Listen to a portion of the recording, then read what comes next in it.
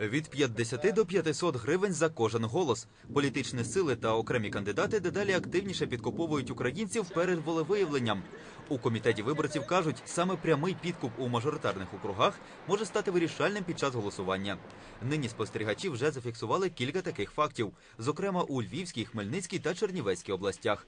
Водночас активніше роздають пайки. Непрямий підкуп не передбачає зняття кандидата з реєстрації, але може стати підставою для порушення справи. Необхідні якісь допити і так далі. і так далі. ЦВК не має ні часу, ні повноважень, ні фізичної можливості проводити ці слідчі дії.